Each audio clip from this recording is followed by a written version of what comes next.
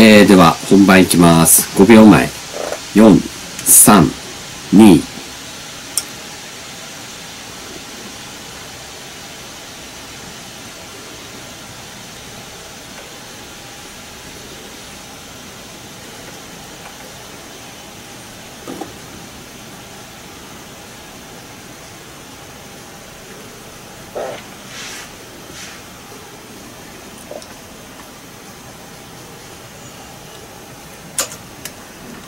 はい、え皆様、こんばんは。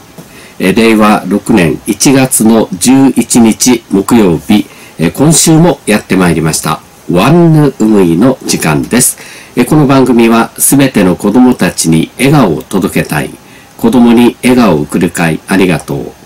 浦添市ぐすくま通りにあります特定非営利活動法人テダコ。そしてアップルパイの美味しいお店クッキングテダコ。共に日本の未来を創造する SNS フリージャパン。タクシーのパーツと自動ドアのことならすべてお任せの沖縄タクシーマート。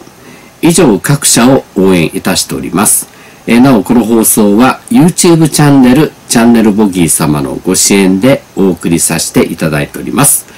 さて、えー皆様、もうね、1月も11日となりまして、正月気分はもうそろそろ抜けたかなと思いますが、まあこれからはまたムーチーなどもやってきましてね、何かと行事の多い沖縄でございます。さて、えー今夜の放送は、えーマンゴー仮面さんと岡目八目さんが、まあ、お仕事でお休みということで、本日の私の相棒はタカさんでございます。こんばんは。あ、こんばんは。よろしくお願いします。はい、ということで今日はこの二人でまたね、いろいろずけずけずけずけとお話を進めさせていただきたいと思います。えどうぞ今夜もよろしくお願い申し上げます。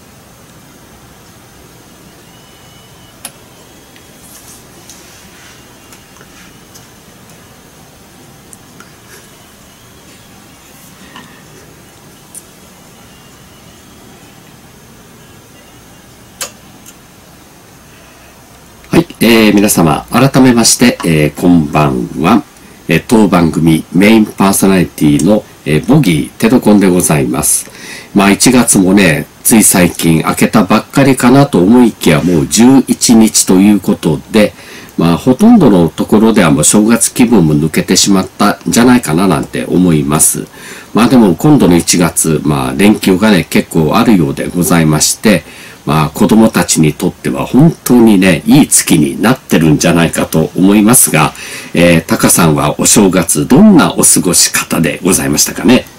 まあ、や、えっと、あの、能登半島地震が起こる前までは、まあ結構あの、YouTube 見たりとか、あの、YouTube って言っても政治系のじゃなくて、例えばあの、まあ、映画チャンネルっていう映画チャンネル50分さんが出ている YouTube 見て、あの、一人で腹抱えて笑い、笑っていたんですけども、でも地震の速報が出てからは、もうテレビをつけて、ずっと地震の、まあ、ニュースをずっと見ていたっていうことで、ちょっとよ、この正月休みを使って読もうと思っていた本がなかなか読めなかったっていう正月になりましたね。はい。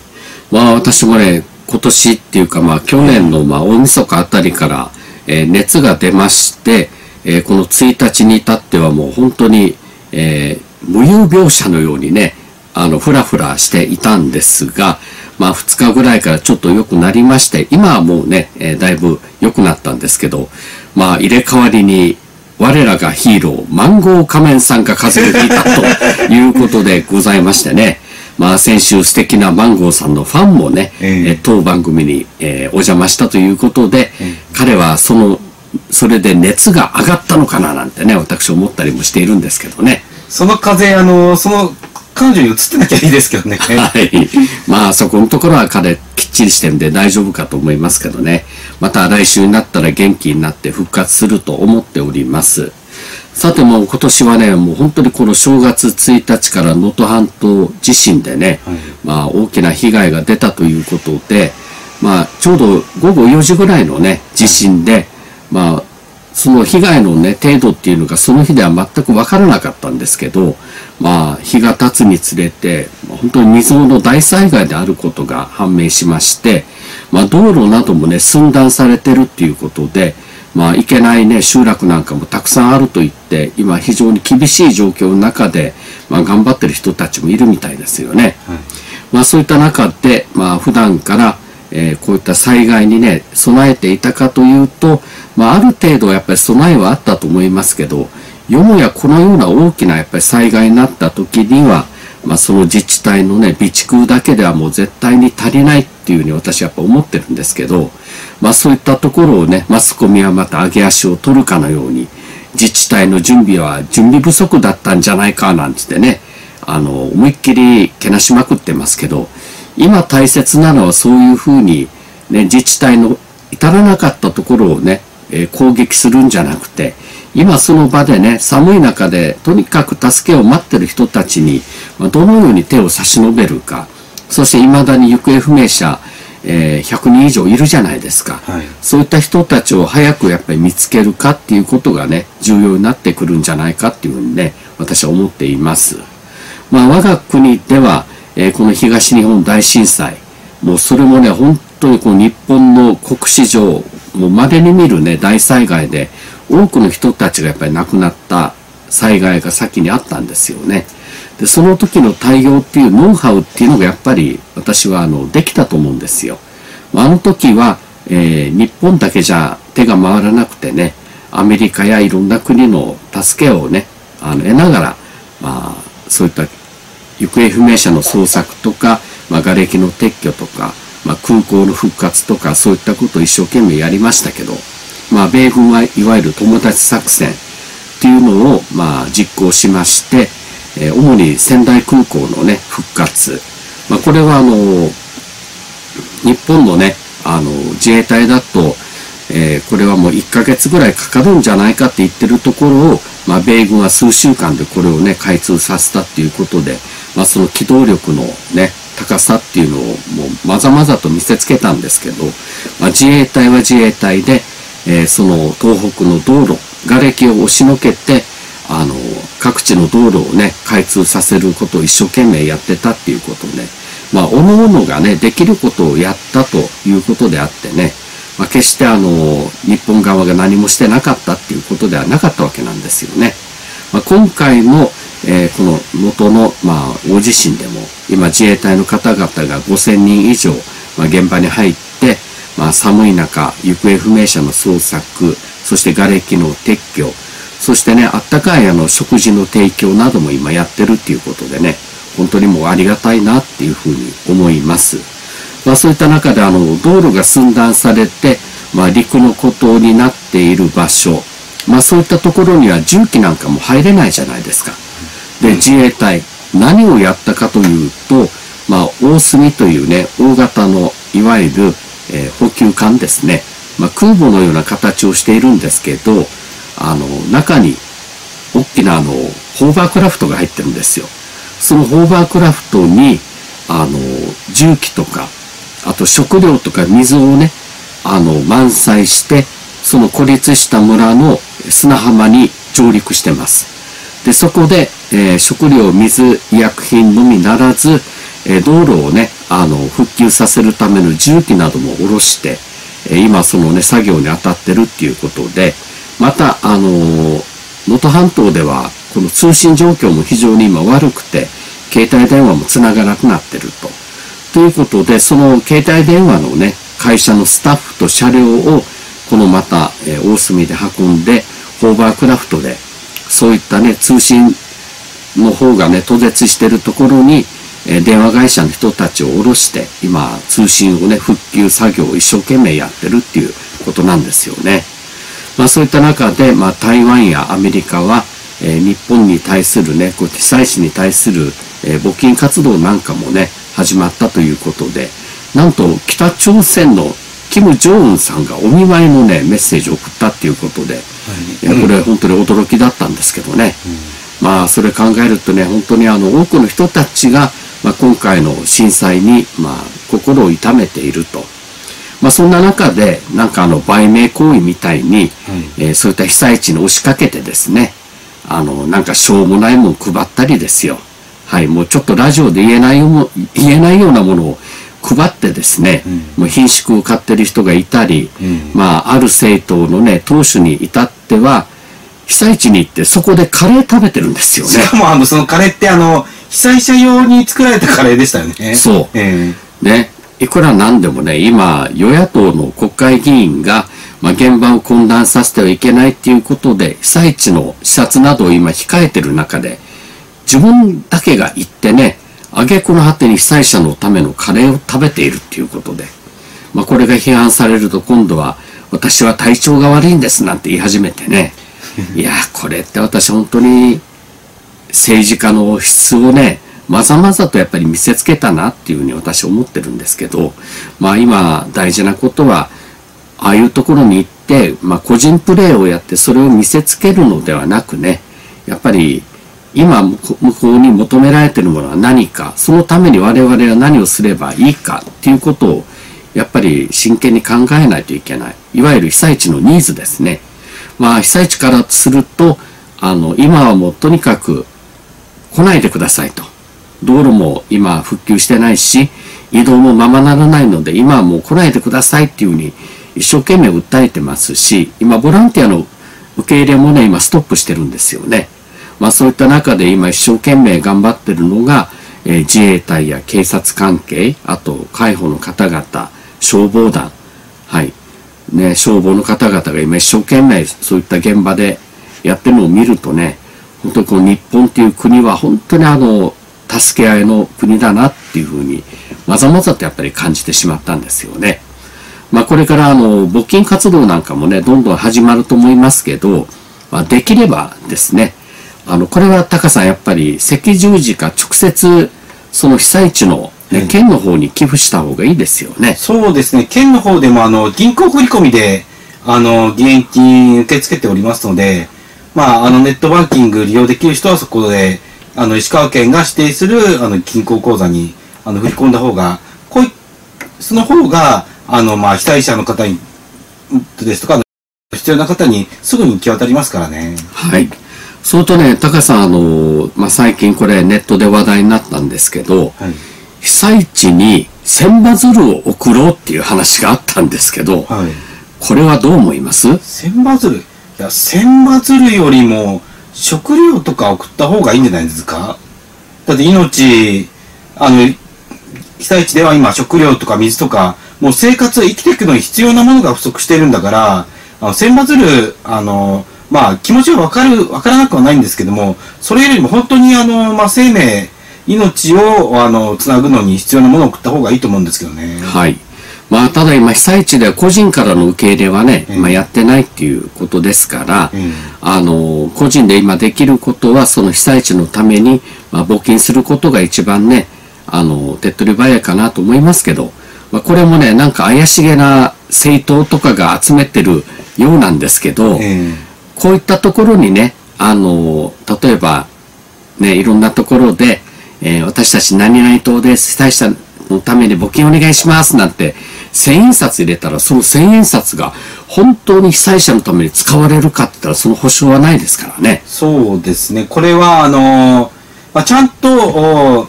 まあ、政党なら政党で、まあ、赤十字ですとか、そういったところに、あの、寄付しますというふうに、あの、宣言しているところですとか、あと、まあ、赤十字なら赤十字社に、あの、寄付したことをちゃんと、あの、報告しているところに募金した方がいいですよね。はい。まあ一番いいのは、あの、そのね、えー行政？はい。行政が今募金をしている窓口か、はい。もしくはあの、日本赤十字社の方にね、まあ募金するのが一番いいかなというふうに思います。まあ、沖縄の新聞社も今一生懸命ね、はい。あの被災地のためにっていうことで募金活動呼びかけてますけど、まあ現金のみっていうのがまたちょっとね、えー残念なところでね、え。あのーぜひ銀行とね、話をつけて、はい。えー手数料無料でね、はい。振り込みできるようにしたらいいんじゃないかと思いますし、はい。まあ、県内のね、そういった、えー銀行も、はい。えー被災地のための振り込みだったら、はい。まあ、その振り込み手数料は取りませんよっていう、そういったメッセージを出してもいいんじゃないかっていうのは私思うんですけどね。えーまあ、あの、変な形での募金集めてるところが出てくると、まあ、例えば、あの、まあ、善意で、あの、まあ、銀行に、振り込みするにしても銀行に行く時間がない方ですとか、あとネットバンキング使えない方のために、あの、まあ、募金を集めている組織があって、その組織はきちんと、あの、叱るべきところに、あの、募金を送ってるんですけども、そういった人まで怪しまれないか、これがちょっと心配ですよね。はい。まあ、過去にはね、あの、そういった募金、被災地のためにっていうことで募金を集めて、はいその党の活動費にね、使い回すなんて宣言をしていた政治家たちもいたようですからね。まあ、そういったことにならないように、皆さん、あの、被災地のための募金は、えーこの日本赤十字社もしくは、えーこの行政の方に、えーきちんとやっぱりね、届けた方がいいんじゃないかというふうにね、私は思っていますし、あと、県内のね、銀行、まあいく、いくつもありますけど、まあ、被災地のためのね、あの、いわゆる募金については、えーどの銀行でも、えー手数料無料にしてあげるとか、そういったね、あの、配慮をしてやっぱりいただきたい。はい。まあ、いつね、私たちが、あの、逆に大きな災害に見舞われて、助けられる側に回るかわからないわけですからね。まあ、そういったところをやっぱりお互い様でね、えー沖縄もやっぱりできることをどんどんどんどんやっていった方がいいと思いますし、まあ、沖縄からは、えー陸上自衛隊第15旅団から、えーまた自衛隊員の方々が派遣されてますんでね、まあ沖縄も決してあの無関係ではないということで、えーございます。では、一曲行った後にですね、まあ、こういったあの災害の時に、あの沖縄が何ができるのかな、それからこれからできることはあるのかなということをまたタカさんといろいろ話をしてみたいと思います。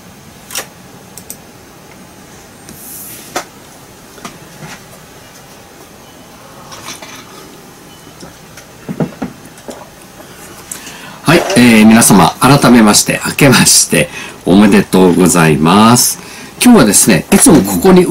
ている、あの、マンゴー仮面さんがですね、え風邪をひいてお休みということでございまして、まあ今日電話で話をしたんですけど、声が確かにガラガラになっていまして、まあ最近ね、暖かくなったり寒くなったり、いろいろ気温がこういう風に上下するんで、まあそれで体調を崩したんかな、なんてね、思っております。えなお、明日、えー、桜の、まあ、初収録、まあ、収録始めということでございまして、えー私の方と、えー今回のね、私のアシスタント、タカさんの方で、二人でね、またお送りしていきたいと思っております。まあでも最近ね、えーチャンネル桜もネットの中でいろいろ叩かれておりましてね、いやーなんで叩かれてるんだろうなんて私思ったりもするんですけど、ただやっぱりそのね、桜の本社の考えと、あの、沖縄支局の考えっていうのはやっぱりちょっと温度差もありますし、まあ、我々が今ね、やっぱり優先すべきは、まあ、どのようにしてこの沖縄をね、守っていくか、まあ、沖縄県民をね、目覚めさせていこうかっていうことに重きを置いておりまして、まあ、政治的な勢力争いには全く、えー関心はないということでございまして、これからもそういった感じでね、えどんどん放送をね、していきたいと思っております。えー、でもね、先週、マンゴー仮面さんのね、えー、ファンがスタジオに来ていただいたということでね、高さん。いやー、マンゴーさん、本当にあの、彼女の方向もなかなか向けないぐらい照れていましてね、結構、純情なところを、えー、私たちに、まあ、見せつけていただいたということでございまして、まあ、この後、えー、フルターズにいる時の大違いですね。そうですよね。はい。で、実はあの、その後ですね、マンゴー仮面さん、あの、チワワさんを、はい、エスコートして送らせたんですよね。はい。はい、チワワさんを、えー、送らせたんですけど、連れて行った場所がですね、皆さんどこだと思います？はい。チワワさんを連れてった場所が。それがなんと、マリンアウト電柱だったって言うんですよね。高さん。マリンアウト電柱。まあ、その他にもね、えー、茶谷町なんかすごい賑やかなところを行って、えー、ね、ちょっと一緒にカフェをして、その後にマリンアウト電柱を見せて、まあお送りしたということでございまして、いやー、どうですか、高さん。女の子をマリンアウト電柱に連れていくというこのセンス。まあ確かに沖縄にしかないところではあるんですけど。まあ、あのー、まあ、チアさんはこういったあ政治系の話題、興味ある方なので、はい、まあ、そういった人だったらいいんですけども、例えば、あの、普通の一般の方だったら、何の説明もなくマリアント電池っていうのは、まあ、あのー、近くにあるマイハウスに行ったついでっていうのでない限りは、控えた方がいいのかなとは思いますよね。まあ、そうですね。まあでも彼らしいといえば彼らしいんですけどね。でも将来素敵な人ができてですね、マイスイートができて、えー、初デートが一緒に辺野古のフェンス見に行かないとかね。辺野古のテント見に行こうよとかやったらどうするんだろうなんて私ちょっと心配をしております。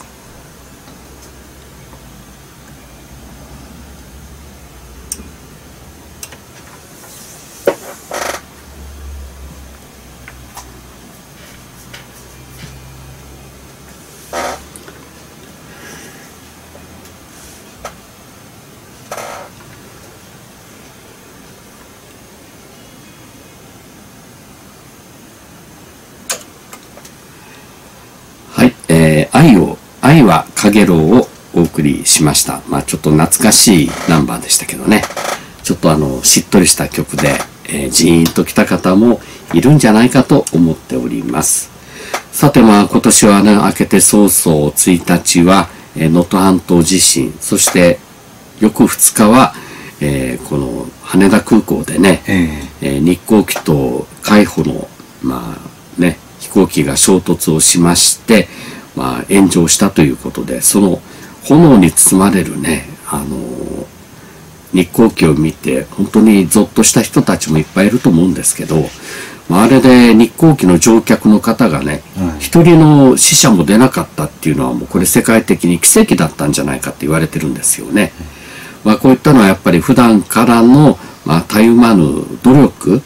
のまあ、いわゆる賜物だったんだろうなというふうに思いますけど、まあ、残念なことに、まあ、被災地にね、え救援物資を運ぼうとしていた、まあ、海保の航空機の搭乗員5名がまあお亡くなりになったっていうことでね、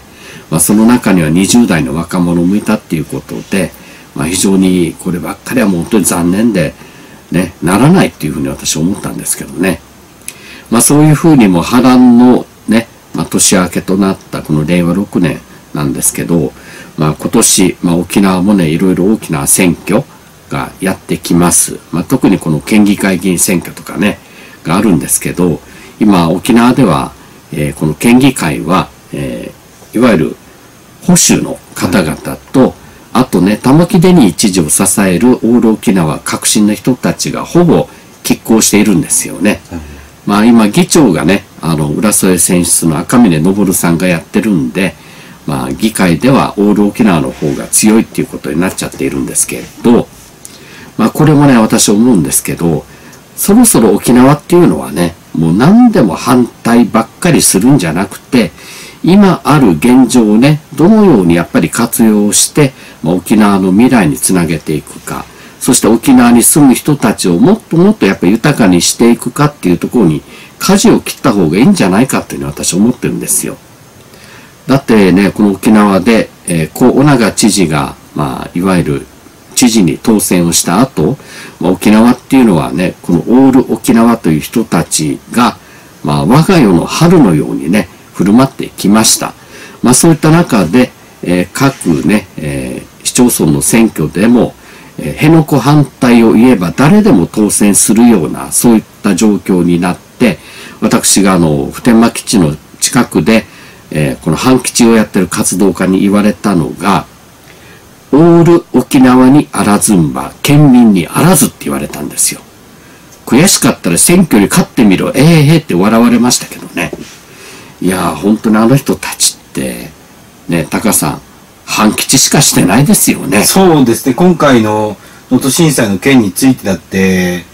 もう何かやった、まあもちろんあの、まあ、現、被災地に行ってボランティアっていうのはできないんでしょうけども、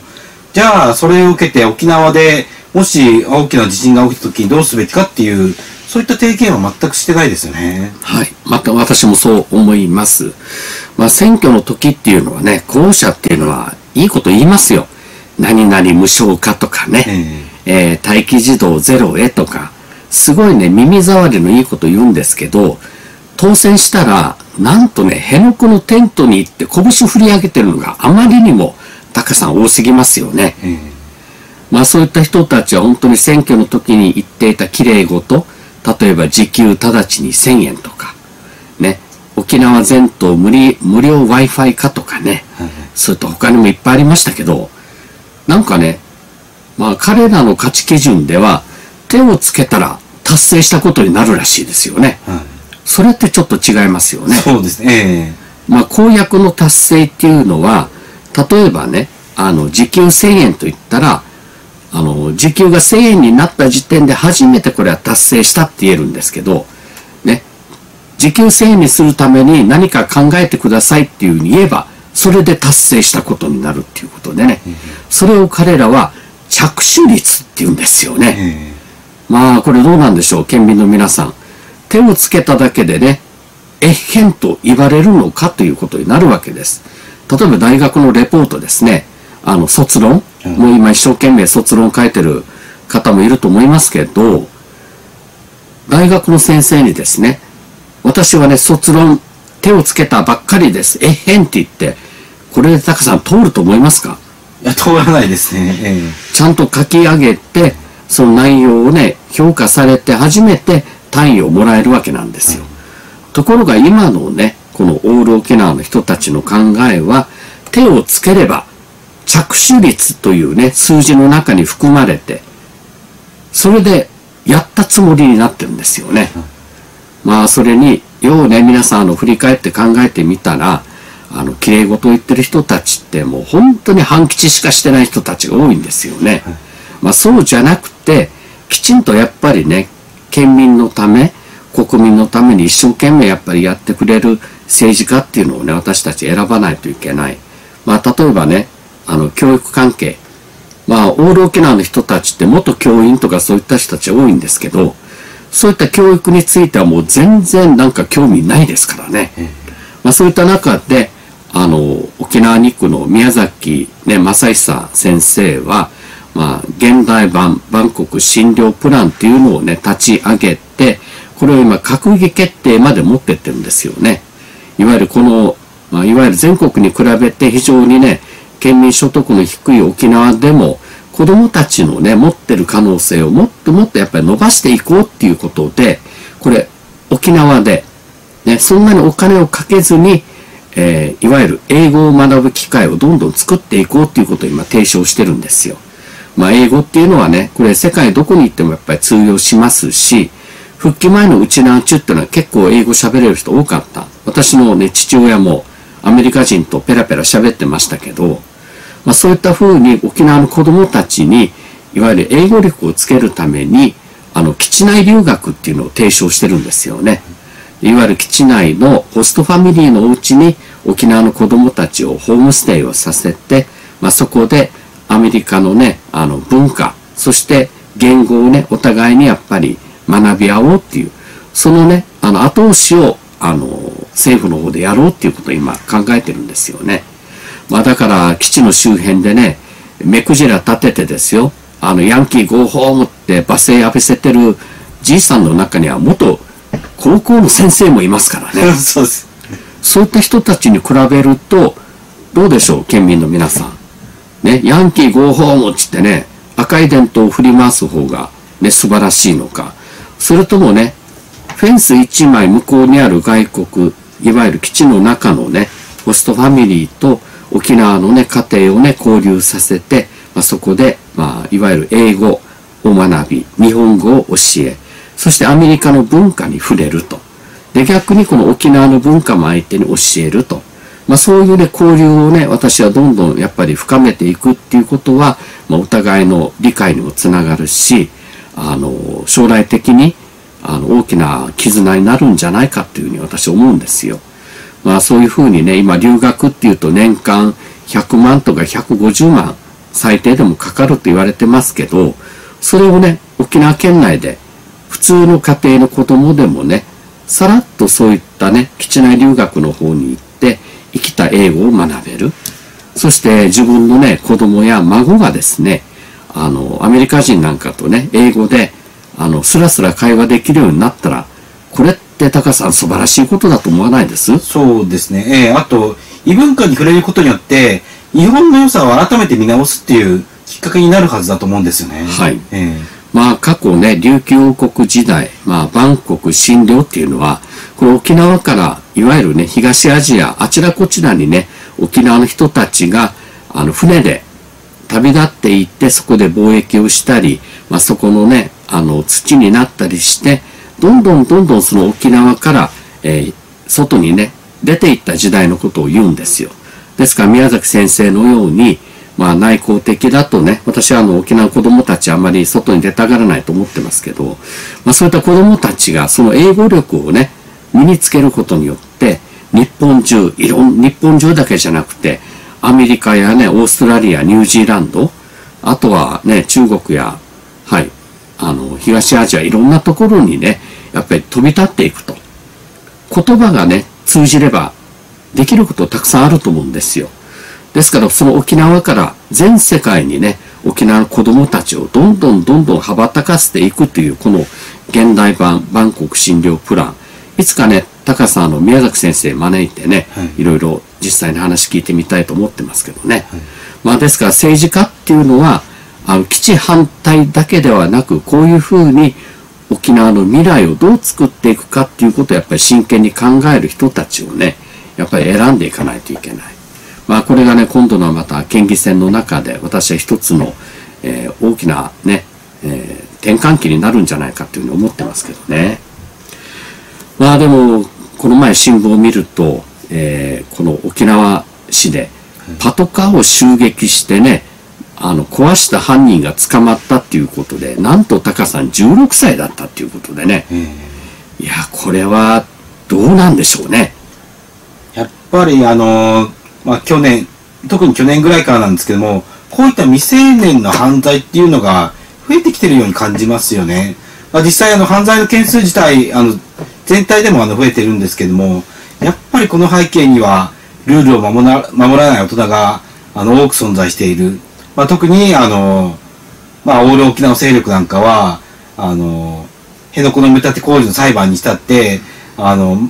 この、埋め立て工事自体はあの違反だっていう、本当にわけのわからない。ルールにのっとってやってることについては、あの、ルール違反だと言って、ルール違反については自分たちはルールにのっとってやっているっていう、本当にあの、正反対のことを言ってしまってるから、まあ、子供たちにも悪影響を与えてしまってるんじゃないかなと思いますね。いや、全くその通りでございましてね。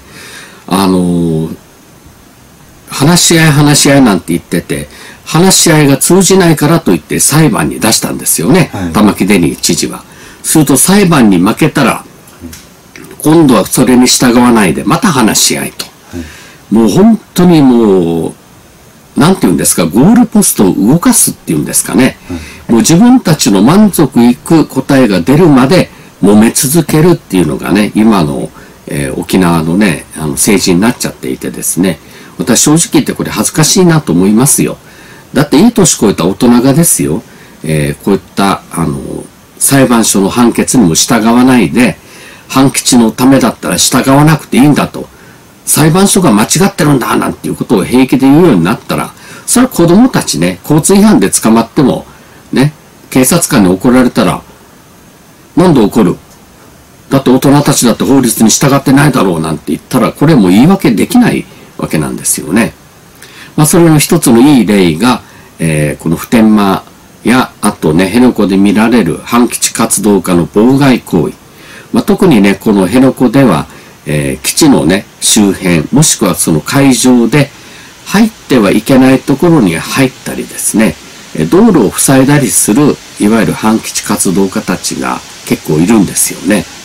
で、その人たちっていうのは、いわゆる、えー、その工事の業務を妨害している、いわゆる威力業務妨害に当たるんですけど、まあ、現場の警察官は本当に優しくてですね、えー、両腕、両足をね、掴んで、まあ、外に出して、はいはい、どいてくださいっていうふうにどかして終わりなんですよ。海の上でも、入ってはいけないとこに入ってきたカヌーなどをね、一旦海保は捕まえますけど、まあ、丁寧にも砂浜の方まで送ってあげてそれで終わりなんですよ。つまり法律を犯しても罰を受けないっていうことが今向上化している。まあ、これがね、そういったことをやって、これが犯罪として問われる。もしくは威力業務妨害として訴えられるってことになったら、私あっという間にいなくなると思いますよ。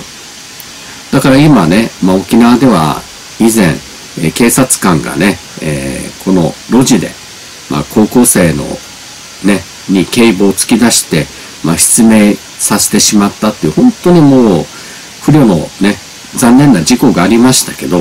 まあ、それ以来警察の方も非常になんか、えー、取り締まりについて慎重になってるような気がするんですよね。まあ、ですからそういうふうに警察が、まあ、お呼び越しになると、まあ、大喜びして暴れ回るのがやっぱりそういった暴走族とか子供たちでね。で、また成人式なんか来ると、タカさんまたいろいろ出てくるんじゃないですかね。そうですね。だからやっぱりね、ダメなものはダメと言って、やっぱりそれなりに、やっぱり私はね、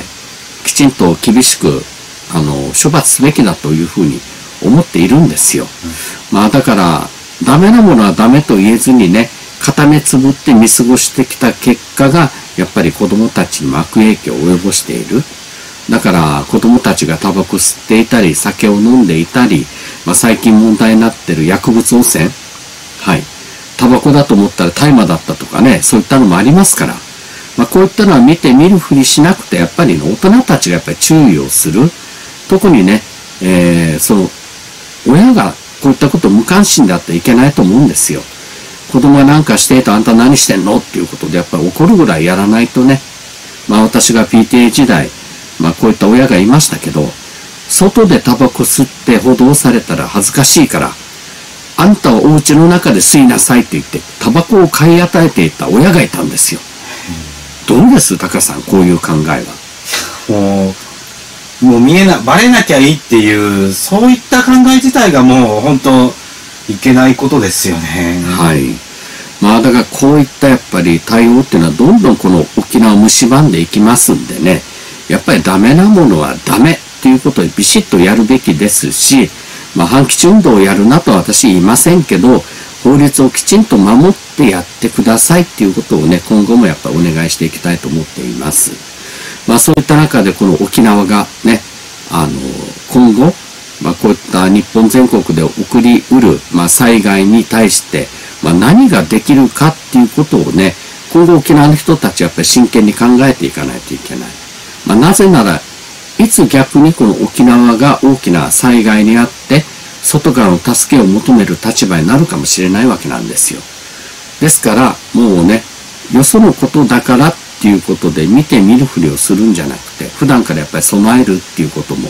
やらないといけませんし、まあそういった中でね、私沖縄が一番やっぱり、えー、今後、この日本の中で、そして東アジアの中でね、やっぱ大きく、あの、力をやっぱり発揮できるのは、人をね、助ける力だと思うんですよ。まあ、今沖縄にはね、自衛隊いますし、米軍もいます。ね、よく反対派の人たちは過重負担だっつって大騒ぎしますけど、逆にこういったね、あの、米軍などをやっぱり利用するっていう考えを持ってもいいんじゃないのかと。なぜなら、えー、このね、今話題になってる普天間基地、えー、最近あの C17 という大型輸送機が着陸をしました。まあ、そのぐらいね、長い滑走路があるわけなんです。それも、えー、標高が約90メートルの高台。沖縄中探しても、標高90メートルにあるね、高台の飛行場なんてどこにもないわけなんですよ。これをね、私はあの、潰す必要はないと思ってます。なぜなら、標高が高いところにあるということは、あの、東日本大震災クラスの津波が来ても、飛行場の機能は失われないということなんですよね。今回の能登半島地震では、えー、最大で3メーター以上の津波が押し寄せたと。それでもね、海沿いの集落っていうのは壊滅してますからね。ですから沖縄の飛行場っていうのは海抜5メーターとか7メーター。嘉手納飛行場でだいたい13メーターぐらいですかね。那覇空港なんか海のすぐそばじゃないですか。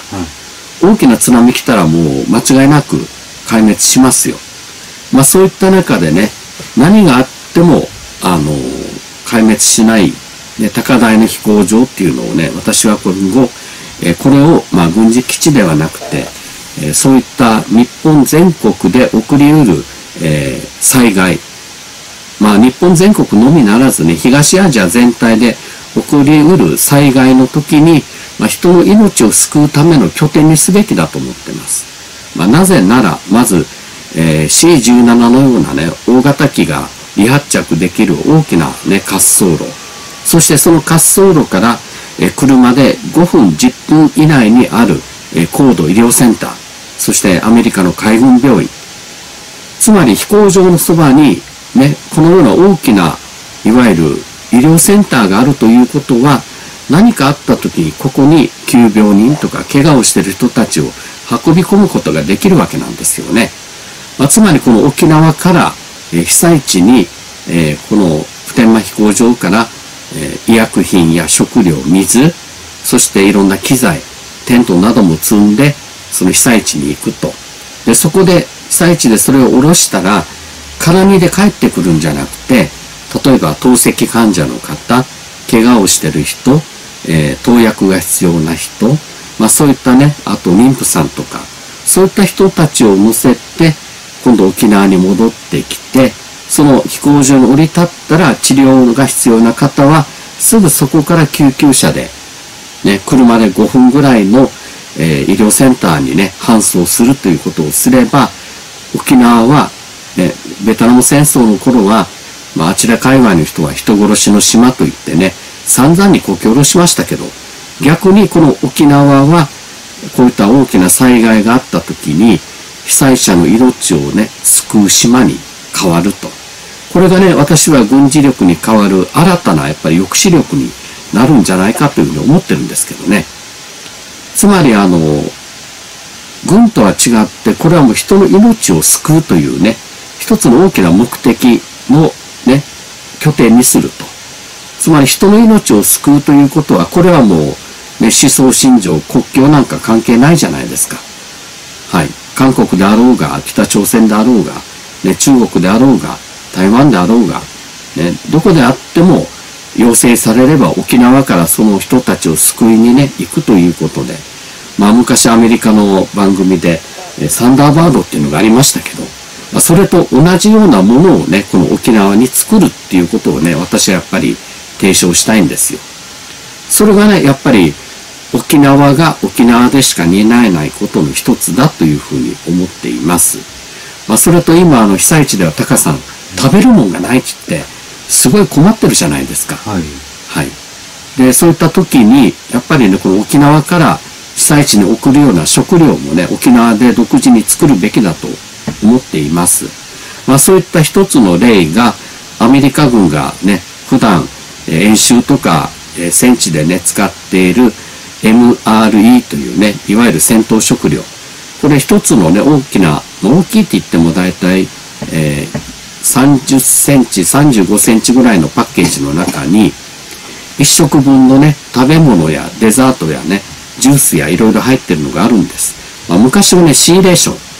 はい。今日ラジオを聞いてるね、タクシーの乗務員の皆さんも昔食べたんじゃないですか、シーレーション。あのー緑色のね、カーキ色の缶詰を開けると中にパンケーキとか、いろんなものが入ってたじゃないですか、スパゲティとか。それが今レトルトになってるんですよ。それをね、あの、またすごい優れたところが、そのレーションはですね、なんと、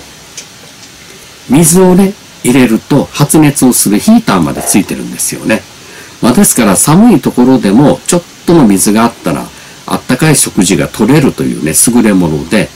で、そのパッケージそのものが非常に頑丈。ね、手で破こうとしても絶対に破けないぐらい分厚いビニールで包まれていて、あの、落っことしてもね、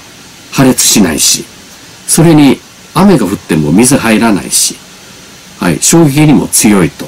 まあそういったものをね、私はこの沖縄で作るべきだと思ってます。この沖縄で作るお米、それから野菜、沖縄の農産物、そして海産物、はい、そういったものをね、どんどんどんどん利用して、この沖縄で、えー全国、東アジアにね、えーこの提供するかもしれない非常食を沖縄で作ると。そしてこの沖縄自体で、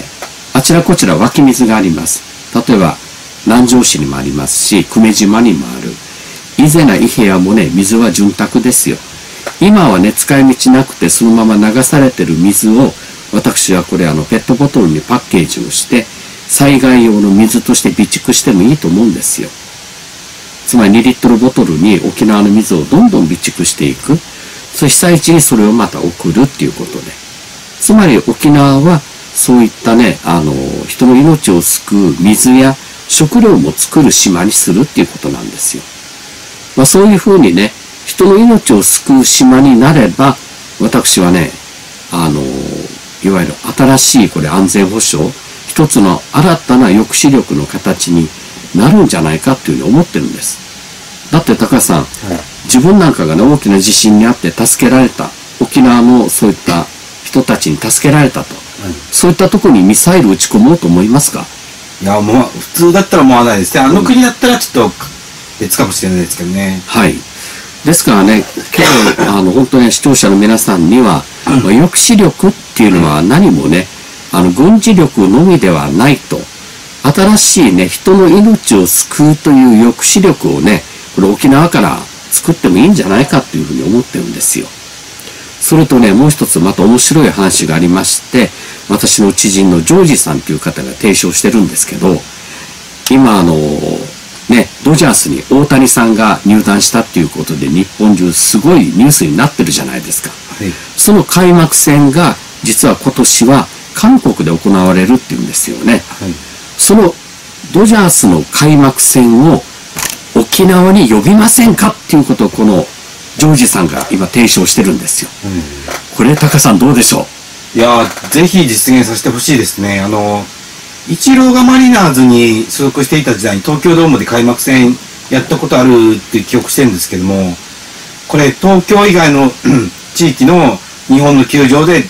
メジャーリーグの開幕戦をやったとなれば、もう全国的な注目を集めると思いますし、あと、日本のプロ野球のチームとの対戦となれば、応援にもかなり熱が入りそうですよね。はい。またあの、このドジャースの監督が、なんと、沖縄生まれ、沖縄育ちっていうことでね、ええ沖縄に非常に縁のある方なんですよ。えですからね、これあの、沖縄には那覇にセルラードームというもう見事な球場があるじゃないですか。はい。もう那覇市長、そしてね、県知事先頭に、ぜひね、全県民で、このドジャースの開幕戦を沖縄に呼ぼうっていうことでね、これやってもいいんじゃないかと思うんですよ。どうでしょう、皆さん。これって、辺野古反対よりずっと夢のあることじゃないですか？だって、大谷が沖縄に来ると。そこでね、沖縄の人たちの前で、プレーをすると。いや、沖縄でね、まあ、去年でした？あの、バスケの世界大会。世界大会あったじゃないですか。はいえあれでね、沖縄でその、えバスケをしてる子供たちにとってはすごいやっぱり夢を持てたと思うんですよ。今度はこのドジャースの開幕戦を沖縄にね、誘致して、その野球をね、目指してる沖縄の子供たち。に夢を与えてもいいんじゃないかと。それってね、私あの、半吉よりずっと大事だと思いますけど、視聴者の皆さんどう思います？それでもやっぱり、新基地反対が大切ですか？それとも、沖縄のね、子供たちの未来につながる、こういった夢のある話をね、実現するために、みんなでね、やっぱり、後押ししていくのが大事ですかね。いや、私はね、やっぱりずっと PTA をやってきてね、健全育成に興味今でもありますけど、やっぱり子供たちに夢を与えるっていうのは、大人の役目だと思います。ね、何かことあるたんびに眉間にシワを寄せて、口から泡飛ばして、ね、右手を、ね、拳を振り上げて、反対ってやるんじゃなくて、こういうね、夢のある、ね、こともやっていいんじゃないのか。沖縄でね、アメリカの、えー、いわゆる野球の開幕戦、ね、ドジャースを呼んで、沖縄のね、子供たちに大谷のね、姿を見せる。これ以上のね、本当に夢のある話私ないと思いますが、私はこれって半吉よりずっと大事だと思いますけど、皆さんどのようにお考えでしょうかね。まあ今沖縄全国から見るとね、本当に半吉しかしないなんて思われてますけど、そうじゃなくて、沖縄自分たちがやっぱりできることがあるんだっていうこと、さっき私が提唱したいわゆる普天間基地のね、えー、救難拠点化、いわゆるスタンダーバード計画、そしてこの沖縄に、このジョージさんが提唱する沖縄に、えー、ドジャースの開幕戦を呼ぼうというね、こういった夢のある話、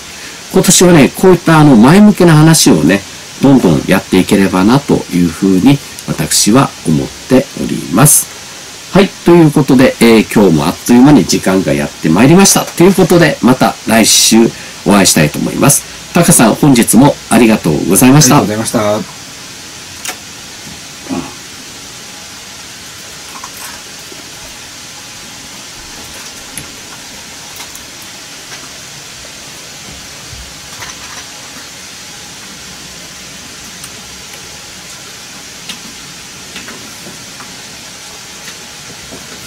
ということで、本日の収録、はい、えー、無事に終わりました。えー、ちょっとね、えー、マンゴー仮面さんがいないんで、タカさんがね、不完全燃焼気味なんですけど、ね、マンゴーさんがいるといつものコーナー回して、またね、えー、熱くなって途中でプッツンっていう風になったと思うんですけど、まあ、放送事故ない回もいいんじゃないかなんてね、私思っております。まあでも、本当にね、沖縄が沖縄でしかできないことを誇りを持ってやっぱり担うっていう、そういったね、誇りある県民がいいのか、それとも、ことあるたんびに国に対して反対ってこうしてね、拳を振り上げて、もう一つの左手ではね、これをやって、これするのがいいのか。いや、私はね、後者は本当に恥ずかしいと思いますよ。沖縄が担えることを担った上で国に対してきちんと手当てしてくれっていうのは、私はこれは何も恥ずかしいことではないと思いますけど、できることを全て跳ねのけて、金だけくれというのはね、私これは、えー、沖縄にとっても、沖縄のね、若者たちにとってもプラスにならないというふうに思っています。えー、沖縄はもっともっとできることがたくさんございます。それをね、きちんと口に出して、やっぱりあの実現できるような、そういった政治家をね、皆さんも選んでいってほしいなというふうにね、私は思っております。ということで、え本日の、えー、はい、えー、ワンヌウムイ、えー、これにて、え、終了させていただきます。では皆様、また来週楽しみに待っててくださいね。では、えー、これにて放送の方終了します。ごきげんよう。